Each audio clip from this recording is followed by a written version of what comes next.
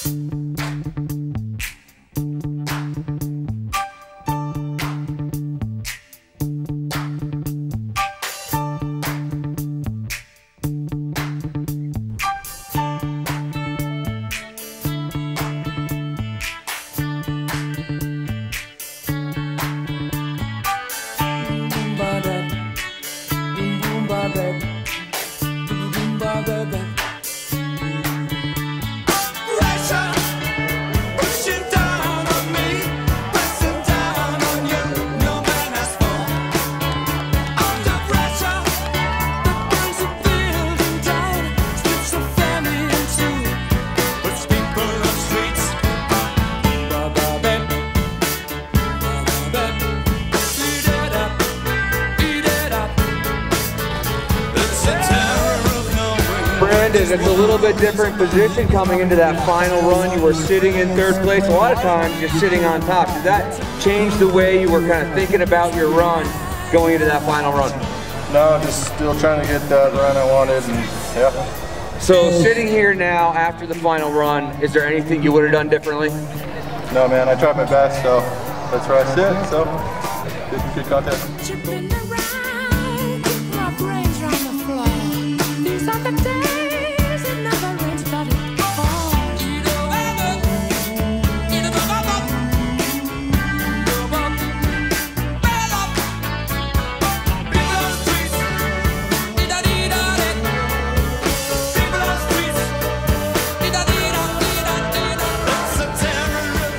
Well, going through my mind within the run was like, oh my god, let's hope that I land it.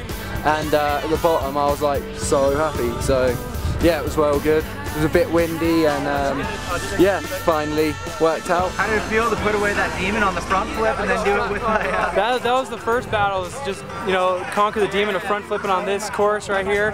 Then the second uh, battle was just try to win a contest again. And we accomplished uh, conquering both those demons today and it feels really, really good.